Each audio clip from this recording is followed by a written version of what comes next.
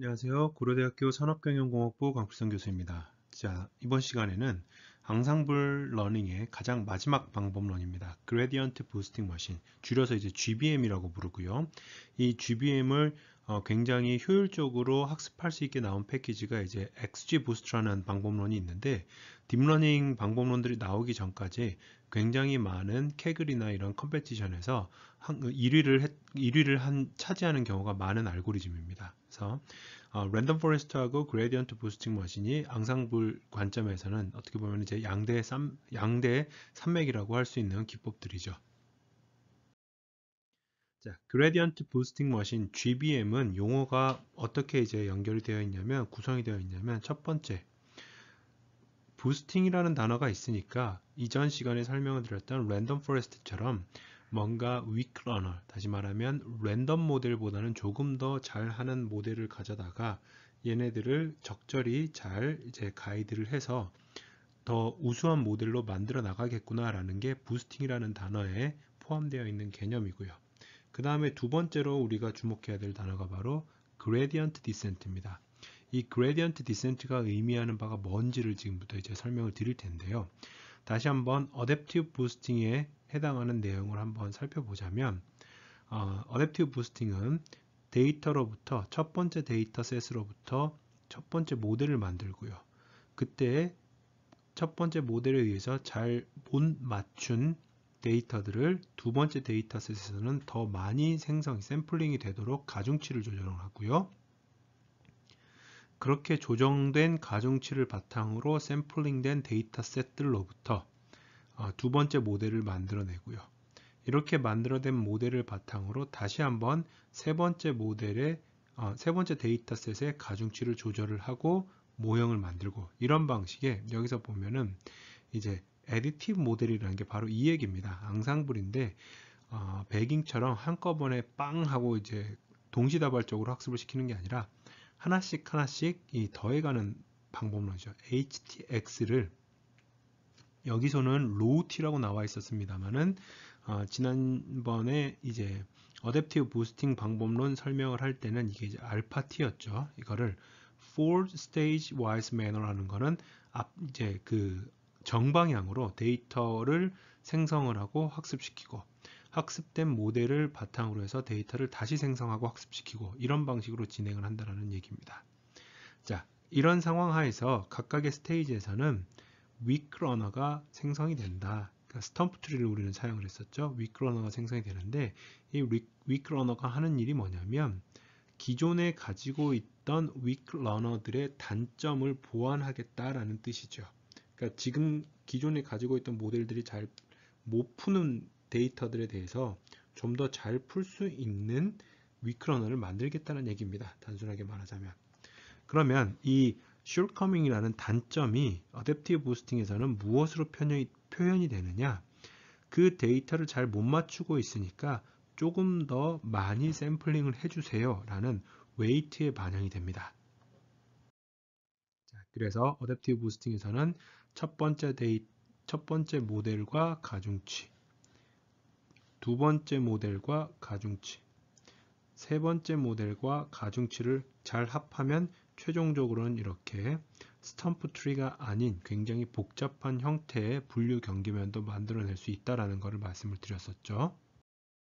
자, 그러면 이 gradient boosting에서는 다 똑같은데 이 shortcoming 지금까지의 모델들의 단점이 어디에서 반영이 되느냐? gradient에서 반영이 됩니다. 근데 이 gradient라는 게 도대체 어떤 말이냐? 이거를 이제 음, 뒤에서 예시로 이제 설명을 드릴 건데요. 이 gradient boosting machine은 random forest도 마찬가지지만 세 가지의 task를 다 수행할 수가 있습니다. regression, classification, ranking 이거를 이제 다 해낼 수가 있는데 이해도 측면에서는 regression이 가장 쉽거든요. 그러니까 어, gradient boosting은 regression만 할 수 있고 random forest나 adaptive boosting은 classification만 할 수 있기 때문에 설명을 드린 게 아니라 학부 수업이니만큼 가장 쉬운 난이도가 그러니까 이해도가 가장 쉬운 직관적으로 이해할 수 있는 기법을 위주로 설명을 드리겠습니다. regression 다시 한번 강조해 드리면 regression과 classification과 랭킹 모형을 전부 다 할 수 있습니다. 이거는 뭐에 연관이 돼, 뭐만 다르냐면 소위 말하는 손실함수로 불리는 이 함수의 복잡도, complexity에 영향을 받는다. 이것 빼고는 이제 크게 차이가 없습니다. 전체적인 메커니즘은 동일합니다. 왜 regression을 가지고 설명을 드리냐면요. 이게 굉장히 직관적인 해석이 그러니까 이해가 가능합니다. motivation부터 한번 설명을 해볼게요. 지금 여기 있는 이제 색깔 동그라미들이 실제 데이터 포인트라고 하겠습니다. 그리고 색깔은 신경 쓰지 마세요. 색깔은 잔차가 0보다 크면 다시 말하면 잔차가 양수이면 파란색으로 지금 표시가 되어 있고요. 잔차가 음수이면 빨간색으로 표시가 되어 있는 겁니다. 자 그러면 만약에 우리가 이러한 이 점들 데이터를 가지고 검정색으로 표시된 선형 회귀 분석 모형을 만들었어요. 그러면 선형 회귀 분석 모형이 이 지금 봤을 때 데이터에서 보면 정확하게 데이터들을 다 표현을 하고 있질 않지요. 다시 말하면 여기서 보시는 파란색인 요만큼의 잔차들이 지금 표현이 되어 있고요. 빨간색들도 지금 잔차가 있습니다. 굉장히 직관적인 하나의 아이디어는 뭐냐면 지금 현재 이게 우리가 지금 보고 있는 이 시기 요 회기 시기 y는 f1x라고 표현을 해볼게요. 그러면 우리가 뭔가 지금 이 f 이 해시 되겠죠. 그러면 요 fx에 의해서 차, 이 학습하지 못했던 점 다시 말하면 실제 정답에서 f 이 f1x를 뺀 게 바로 이게 바로 뭐냐면 이게 잔차입니다.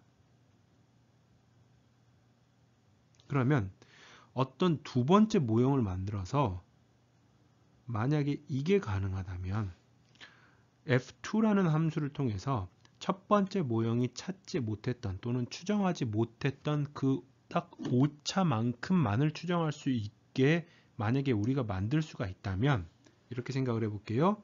이거를 한번 더 해보겠습니다. 이 f1을 왼쪽 오른쪽으로 넘기면 결국은 f1x 더하기 f2x는 우리가 가지고 있는 정답 y가 되는 거죠.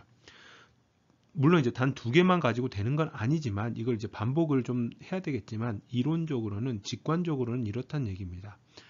회귀 모형에서 내가 못 맞추고 있는 이전 모델이 못 맞추고 있는 만큼을 adaptive boosting에서는 그 오차만큼을 가중치로 두어서 데이터가 더 많이 샘플링 되게 되는데 그게 아니라 이제는 데이터는 그냥 그대로 쓰고요. gradient boosting machine, 오리지널 gradient boosting machine에서는 데이터에 대한 샘플링을 수행하지는 않습니다. 데이터를 그대로 놓고서 y 값을 바꿔버립니다. 우리가 추정해야 되는 목표 값을 바꿔버린다는 얘기죠. 내가 지금까지 이만큼 맞췄으니 마치 그 다음 단계 네가 못 맞춘 만큼만 맞춰 이런 이제 얘기입니다. 이해가 되시나요? 이걸 다시 한번 그림으로 한번 살펴볼게요. 여기에 있는 오리지널 dataset에는 총 10개의 데이터 포인트가 있습니다. x는 변수가 이제 다번, 다변수 어, 문제이기 때문에 아, 다변수 데이터, 다변량 데이터이기 때문에 길이를 좀, 이, 요 길이를 좀 길게 만들었고요. y는 짧게 만들었습니다. 이런 데이터가 있어요. 그래서 여기선 사실은, 음, 요 차이를 이제 표현을 해야 될 텐데, 여기에서는 y 해시 되겠죠. 그러면 여기에서 보는 것처럼 이제 우리는 무엇을 만들어내냐면 우선 x와 y와의 관계식을 잘 찾을 수 있는 첫 번째 모형인 파란색 f1을 찾았습니다. 그런데 이 f1이 실질적으로는 정확하게 정답이 아닐 테니까 여기 보시면 x1부터 x10까지는 그대로 남아 있는데 무엇을 바꾸느냐 y1에서 x1을 F1, X1을 빼가지고 다시 말하면 아까 보여드렸던 잔차예요. 선형 회귀 분석뿐만이 아니라 실제로 GBM에서도 base learner를 boosting tree를 쓸 건데 요 어찌됐든지 간에 실제 값과 추정된 값 사이의 차이를 y 값으로 두 번째 모형의 y 값으로 놓고 그럼 이게 이제 이 목표 값이 되겠죠. 이게 목표 값이 되고 이거를 추정하는 F2를 만들어냅니다. F2를 통해서 F 만들어내면 앞선 모델이 못 맞춘 만큼만 맞추라고 노력을 하기 때문에 잘 맞췄으면 이제 이 앞선 모델의 결과물 추정값과 후반부 두 번째 모델의 추정값을 더하면 정답이 나오겠죠. 근데 꼭 이제 그렇게 될 건 아니니까 이걸 이제 반복하는 거예요. 그러면 정답에서 이제 1번 모형의 그 추정값 빼고 또 2번 모형의 추정값을 뺐는데도 차이가 있다. 그러면 그 차이를 3번 모형이 학습할 수 있도록 하자라는 게 바로 기본적인 아이디어입니다. gradient boosting machine의 아이디어입니다. 자, 그럼 이게 왜 gradient라는 개념하고 연결이 되느냐라고 살펴보면요. 우리가 가지고 있는 회귀 모형에서의 목적 함수로 로스 펑션, 손실 함수로 많이 쓰이는 ordinary least square, 어, 최소 자승법에 대해서 한번 보도록 하겠습니다.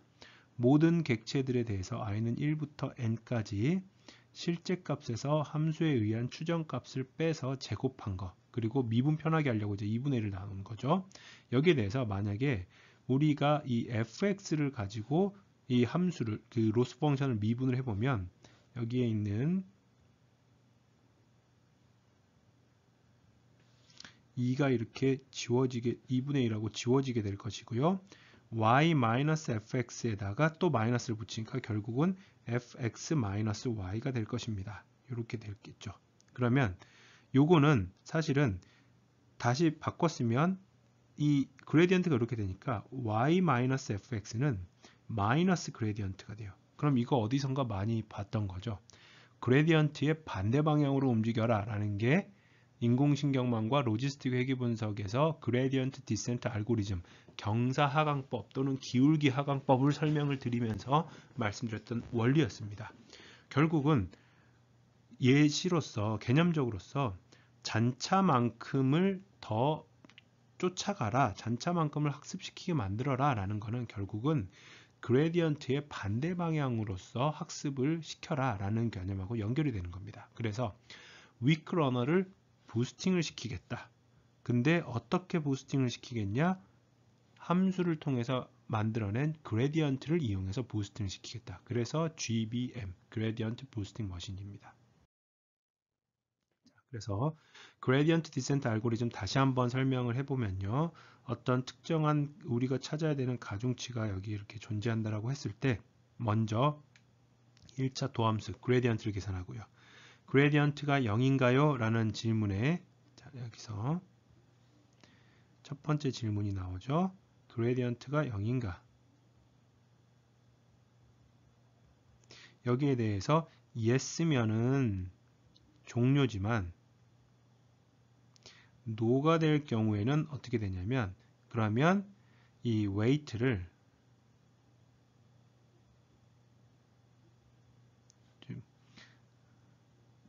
그레디언트의 반대 방향으로 네.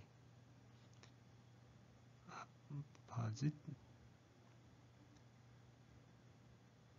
direction of the gradient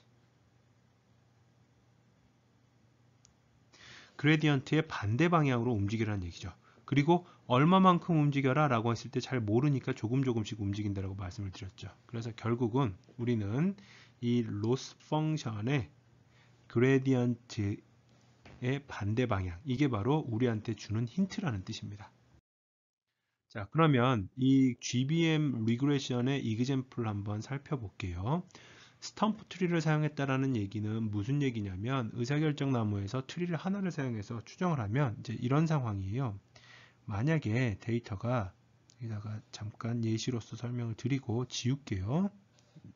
공간이 얼마 없어서 데이터가 만약에 이러한 형태의 데이터를 띄고 있다고 하겠습니다. 그러면 이런 형태의 데이터에 대해서 의사결정 나무를 가지고 tree를 만 아니 회귀 모형을 한다라는 얘기는 똑같이 분류하고 마찬가지로 어떤 split point를 잡아요. x1은 어떤 세타 값일 때 그럼 여기가 이렇게 기준이 되겠죠. 세타보다 작을 때는 그 작은 쪽에 해당하는 객체들의 평균 값을 가지고 추정을 해주고요. 그러면 대략적으로 이 정도가 될 것입니다. 이쯤이 될 것이고요. 그 다음에 x가 세타보다 클 때는 그 큰 데이터들 x가 세타보다 큰 값들의 y 값들의 평균으로 추정을 해줘요. split 한 번 하고 끝입니다. 그러니까 의사결정 나무의 stump tree를 통해서 회귀 모형을 한다는 얘기는 여기서 보시는 것처럼 계단식의 회귀식을 추정을 해주는 것과 똑같아요. split 한 번 할 때마다 계단이 한 칸씩 더 생긴다라고 생각을 하시면 됩니다. 자, 지울게요. 그래서 이제 그림을 잘 보면 첫 번째 iteration에서는 여기서 보시는 것처럼 이쯤에서 아마 split이 됐나 봐요. 그리고 여기보다 작은 쪽의 전체 데이터의 평균이 요만큼이었고 더 큰 쪽의 평균이 이만큼이었으니까 여기선 사실은 완벽하게 직각이어야 되는데 그림상 약간 어, 꺾은 선으로 그려준 것 같습니다. 이러한 회귀 모형이 나와요. 이 회귀 모형에 대해서 초록색 점 뭐냐면 잔차입니다. residual이에요. 다시 말하면 여기에 있는 이 파란색 점들과 추정된 stump 트리로 추정된 첫 번째 회귀식과의 차이예요. 이 차이를 가지고 이번에는 트리를 만들 때 요거를 잘 맞추는 트리를 만들어요. 그게 지금 보면 그 다음 split 포인트가 여기였던 것 같습니다. 그래서 여기서 한번 또 꺾이는 상황이 나오죠. 그리고 난 다음에 잔차를 계산해 봤더니 이 정도가 나와요. 이걸 또 트리를 또 만들어요. 이거를 계속적으로 쭉 반복하다 보면 한 20번을 반복을 하게 되면 굉장히 여기서는 이렇게 꼬불꼬불하게 조금씩 이렇게 떨어지는 이러한 회귀식을 찾아낼 수가 있는데 각각의 좀 이렇게 단계적으로 표현되어 있는 데이터들을 어느 정도 관통하면서 지나가죠. 그러면서 처음과는 다르게 20번째에 해당하는 20번째까지 다 수행을 시킨 뒤에 잔차, residual을 보면 거의 0에 가깝게 붙어 있다는 것을 보실 수가 있을 겁니다. 이게 바로 gradient boosting machine을 이용한 regression 모델의 예시입니다. 절차예요. 그래서 50번 하면 이런 파트 보면 이렇게 약간은 꼬불꼬불하게 계단식으로 미세하게 움직이는 거 보이시죠? 그리고 잔차는 거의 0에 가깝게 나타나는 것. 그래서 이런 이제 지금까지의 메커니즘을 통해서 이터레이션을 50번을 했다는 얘기는 함수를 아까 얘기로 보자면 f1x부터 해가지고 모델을 50개, 스플릿을 50번 했다라는 뜻인 겁니다. 자, 그래서 여기서도 마찬가지로 어, 또 다른 예시로 보면 원래 ground truth는 이렇게 약간 그 파동이 감소하는 듯한 파동을 해서부터 데이터를 만들어내는데 트리를 하나하나 만들어내면 첫 번째 트리는 여기선 지금 보니까 split을 한 번, 두 번, 세 번 했으니까 stump 트리가 아니라 여기서는 depth가 최대 2인 트리를 base learner로 쓴 것 같아요. 그래야지만이 이렇게 split이 여기에서 한 번, 이렇게 또 한 번, 이렇게 또 한 번 만들어지겠죠. 그렇게 해서 먼저 만들어진 데이터를 가지고 여기에서 지금 맞추지 못하는 이런 잔차들이 있지 않습니까? 그 잔차들이 y값이 돼요. 그래서 자세히 보면 첫 번째 트리의 점의 이 상하 위치와 두 번째 트리에서의 점의 상하 위치, 세 번째 트리에서의 점의 상하 위치가 지금 다 달라요. 왜 그러냐면 x는 고정되어 있는데 y 값이 계속 지금까지의 누적 함수들과의 차이인 잔차로서 변형이 되기 때문에 그렇습니다. 그래서 gradient boosting machine의 알고리즘을 다시 한번 개략적으로 리뷰를 해보자면 우선은 첫 번째는 이제 그 원 데이터를 가지고 base learner를 loss 함수를 가장 최소화시키는 베이스 러너를 만듭니다. 그렇게 해놓고 그레디언트를 계산을 해요. 함수에 대한 그레디언트를 계산을 합니다. 그리고 난 다음에 우리는 무엇을 예, 저기 찾아내느냐? 실제 정답과 지금까지의 누적된 함수 사이의 차이를 최소화시키는 함수를 찾아내요. 그래서 이거를 그 다음번의 함수를 이렇게 이제 만들어내는 겁니다. 이거를 계속적으로 반복해서 gradient boosting machine의 최종적인 output으로 만들어내는 거죠. 자, 그래서 이 gradient boosting machine은 어떠한 loss function을 사용하느냐에 따라서 좀 이제 성능이 달라지는데 가장 대표적으로 쓰이는 게 제곱합이죠. squared loss를 사용하는 게 있고요. 또는 이제 absolute loss, squared loss는 이제 그림으로서 표현을 하면 요렇게 2차식이지만 absolute loss 같은 경우에는 이런 식으로 표현이 되고요.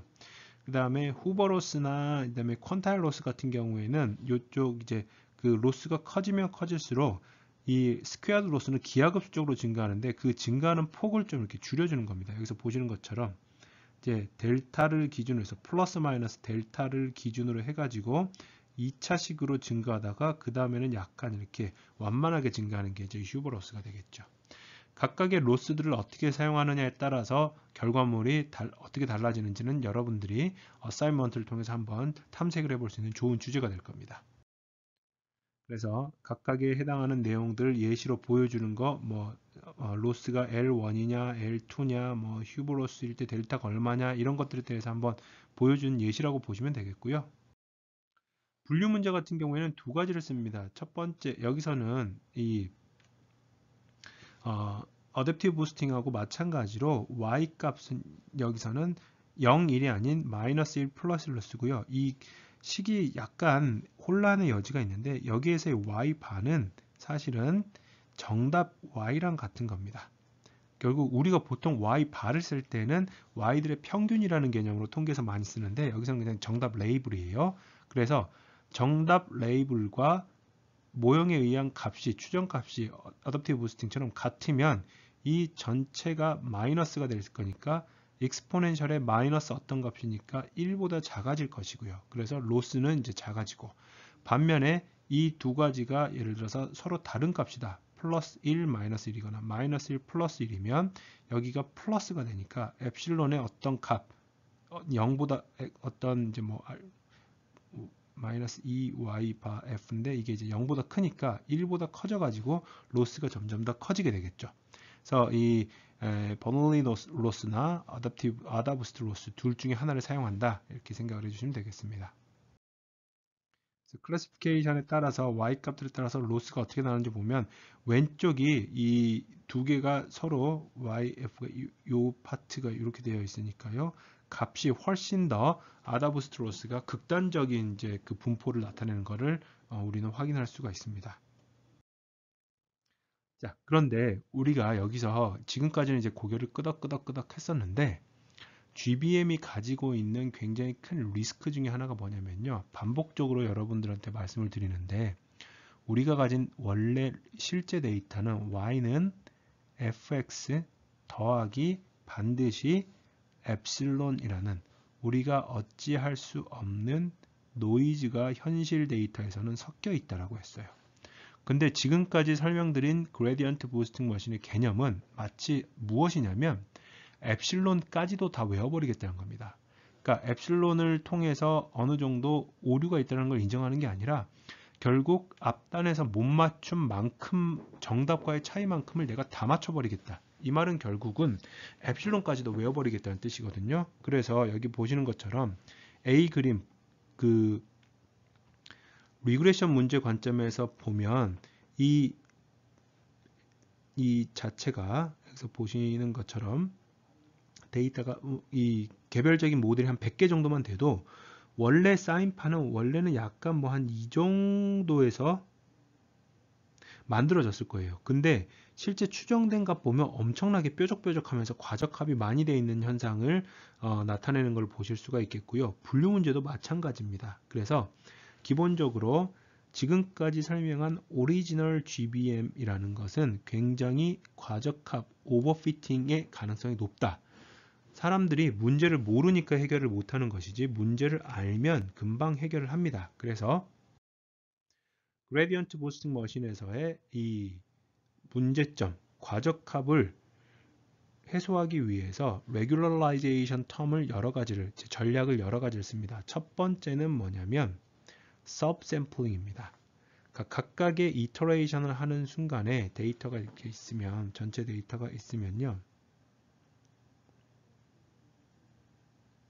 이렇게 있으면 원래 데이터 오리지널 데이터라고 할게요. D1이 있으면 GBM이 여기서 이제 추정값인 y hat들이 y1부터 뭐 y100까지 햇이 나온다고 해볼게요. 그 다음 모델을 추정을 할 때 원래 제가 앞서 설명드렸을 때는 전체 데이터를 바꾸지 않는다라고 말씀을 드렸는데 그게 아니라 이제 일부러 어, 일반화 성능을 확보하기 위해서 전체 데이터에 예를 들자면 80%만 랜덤하게 샘플링을 합니다. 여기서 하나의 그 주의점은 전체 데이터보다 적은 수를 샘플링을 하기 때문에 replacement를 일반적으로는 하진 않지만 bagging을 하면 안 됩니까? 라는 질문에 굳이 그렇게까지 금지하진 않습니다 라는 답변이거든요. 그래서 복원 추출을 통해서 80%를 뽑을 수도 있고 비복원 추출을 통해서 80%를 뽑을 수도 있습니다. 자 이렇게 해서 모형이 만들어지면 그 다음 단계에서는 혹시나 궁금하실까 말씀드리면 그러면 D3 같은 경우에는 결국은 이 80%의 80%니까 64%가 되는 거 아닌가요? 라는 질문에 대해서는 아닙니다. 왜 그러냐면 이 80%의 x와 여기서는 이제 y-fx1이 되겠죠. 요걸 가지고 f2x는 y-f1x가 되는 f2를 찾아요. 그러면 이렇게 찾은 f2를 가져다가 여기다가 원래 오리지널 데이터에다가 적용을 해서 다시 한번 잔차를 계산을 합니다. 그리고 난 다음에 여기서부터 샘플링을 하기 때문에 64%가 아닌 다시 한번 원래 데이터의 80%가 샘플링이 되는 것이죠. 이 부분 좀 헷갈려 하시는 분들이 있는데 지금 그림을 통해서 80%를 반복적으로 샘플링을 하면 점점 점점점 dataset이 줄어드는 거 아니냐라는 의구심에 대해서는 아니다라는 것을 설명을 해드리겠습니다. 자, 두 번째 이 과적합을 방지하기 위한 장법, 방법은 뭐냐면 shrinkage입니다. 이 shrinkage라는 개념이 어떤 개념이냐면 원래 오리지널 GBM 같은 경우에는 앞서서 설명을 했던 모델이 만들어지면 F 실제 최종적인 추정값은 y는 f1 더하기 f1x 더하기 f2x 더하기 쭉 해서 뭐 예를 들어서 100개가 있으면 f100x까지 각각의 모델들에 대한 가중치가 전부 다 1입니다. 원래는 전부 다 1입니다.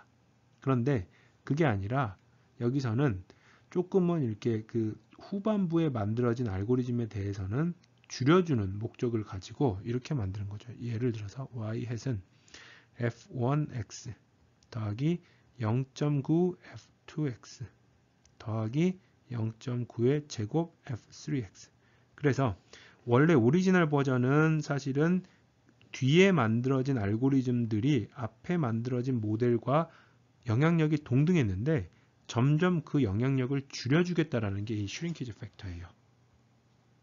그래서 여기서의 알파가 바로 shrinkage factor가 되겠습니다.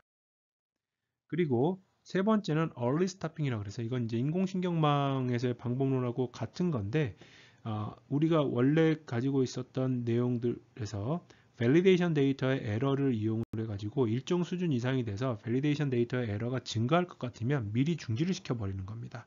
이 early stopping을 통한 그 효과는 이 그림을 통해서 확인을 해 보시면 되겠습니다.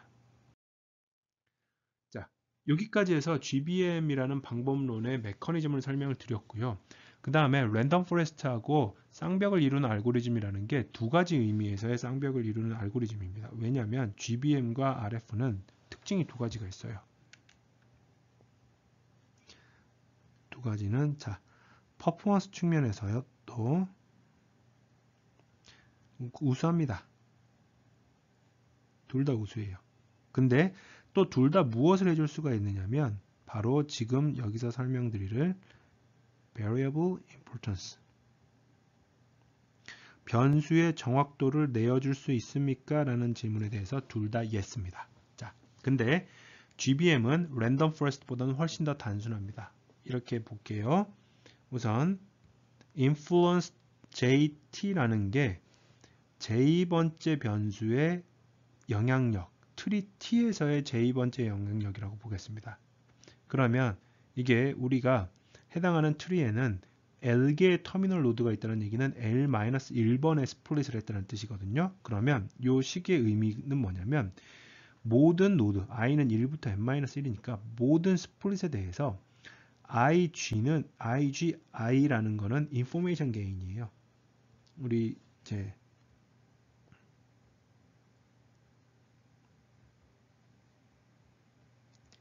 앞서 의사결정 나무 설명드릴 때 그 split을 통해서 얼마나 혼잡도가 낮아지는가가 바로 information gain이라고 설명을 드렸죠. 그래서 그 information gain에다가 각 split마다 얻었던 인포메이션 게인에다가 여기에서 보시는 요 함수 이 함수가 무엇을 의미를 하냐면 i번째 스플릿을 다시 한번 이걸 말로 써보면요 이게 무슨 말이냐면 이거는 i번째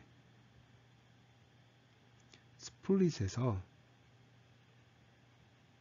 j 변수를 사용했으면 1의 값이 반환이 되고요. 사용하지 않았으면 0의 값이 반환이 됩니다. 결국은 어렵게 생각할 필요 없이 어떤 트리를 만드는 데 있어서 해당 변수를 사용했을 때 information gain들의 합, split의 information gain들의 합이 바로 t라는 이 트리에서 j 번째 변수가 가지고 있는 영향력이고요. 그러면 전체 GBM에서의 영향력, 전체 영향력 같은 경우에는 각각의 트리들에 대해서 그 영향력을 다 계산을 한 다음에 그냥 트리 개수로 나눠주는 겁니다. random forest처럼 뭐 random permutation을 하거나 하는 방식으로 복잡하게 하지 않지요. 자, 여기까지 해서 어, 앙상블의 마지막 방법론인 GBM 설명을 마치도록 하겠습니다. 수고하셨습니다.